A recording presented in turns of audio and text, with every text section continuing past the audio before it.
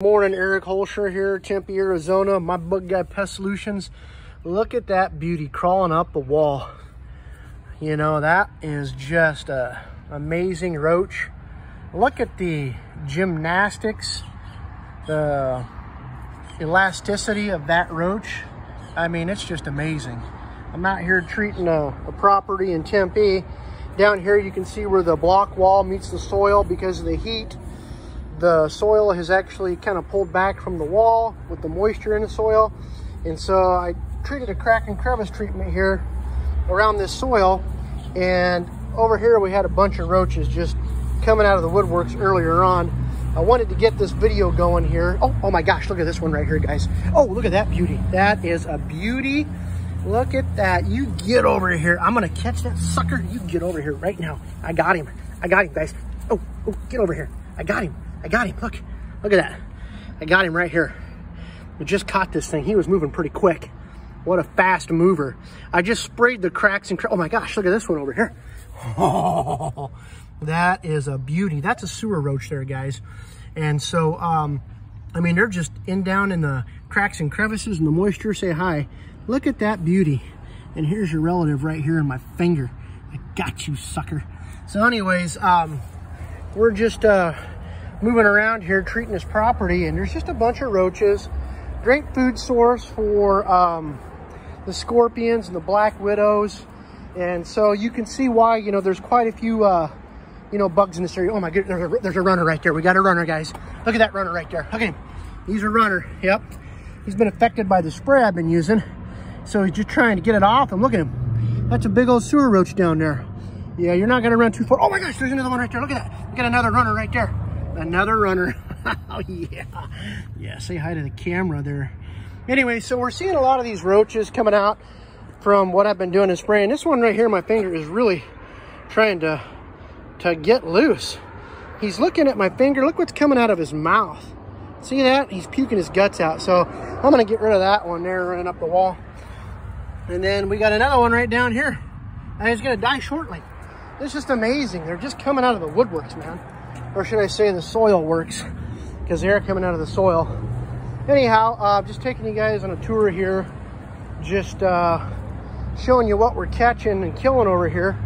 And um, I got some traps I'm putting out, some glue board traps, see how many we can stir up, you know, and catch. So anyways, just wanted to show you guys that there. But uh, it doesn't hurt to touch these roaches. You know, sometimes I'll grab a couple scorpions by the back end of their tail, pick them up and just kind of show you what they look like. And we got another one right here, another little baby roach. Or not really a baby, I think it's an adult actually. That one is moving quick too. Well, he'll die soon, or she'll die soon, I don't know. Didn't get close enough to look at if it was a female or a male, but anyhow, I'm just gonna move back around over here. I'm gonna show you guys something really exciting that I seen when I started uh, spraying earlier on here over in this utility room. Um, I found some black widows in there and uh, a bunch of crickets. And so I'm gonna see if this widow is probably dead almost now, I would think. But it's right down here. Let me see here if I can get it to come out. Yeah, it's right down there. See it? See the widow? She's right there. She's just basically dead. And that right there almost looks like a a leftover remnant of a male black widow. Looks like he got eaten by the female. She was hungry. So anyways, uh, let me see if I can get this in here. Look at that huge ant antenna from a roach. No, I'm just kidding. That's not an antenna. If that was an antenna from a roach, we'd be in some trouble. Let me see if I can get this black widow out of here. Come on. You guys are probably like, man, what are you doing, man? That's crazy. That's a black widow web. And I'm like, yeah, I know it is, but it's dead. That widow is not going to do anything. There she is. Look at that. Look at that beauty. I mean, that little lady right there, if she bit you, could inflict some serious pain and damage. But, you know, I mean, she's dead. Look, she's dead.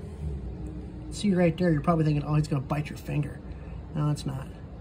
Anyways, uh, it's dead. So that's a good thing. So apparently the products work that I'm using. Otherwise, that spider wouldn't be dead. I'd hate for one to just like fall off out of up here and drop on my head and take a good biting to my neck. That would be painful. I'd be in some trouble then. I'd have to probably go to the hospital. Well, not with COVID. They'd probably just turn me around and say, you know, you're just gonna have to do it yourself, treat yourself. But down here also, I'm looking at all these little pavement ants over here. They're all over. Gonna put some bait down for them, take care of business. So anyways, guys, just wanted to show you what I was doing out here today. I'm gonna do a, a live stream for a black light service here probably this week. May do the live stream on it. And uh, we're gonna be looking for scorpions. We're gonna do some scorpion hunting. Gonna show you what they look like at dark time. I'm sure some of you have seen how they glow in the dark, a neon green color. So it'll be pretty cool. We'll get that done and just kind of show you what it's all about. I mean, you look up at these big date palms, scorpions love these palms. I mean, they're just all up in there. These cracks and crevices, joints in the walls, they love this type of stuff. Remember, they're thigmotropic. They like tight, confined areas and they like it dark. So, you know, big old date palms probably housing, you know, I don't know, dozens of scorpions up there. And the same with this one up here too. So anyways, guys, uh, Eric Hoelscher, My Bug Guy Pest Solutions. Hope you enjoyed this video. And uh, you can look me up at line at My Bug Guy Pest Solutions. Find me on Google, Yelp, or Bing. Or you can call me at 480-233-2674. All right, guys, talk to you soon. Bye.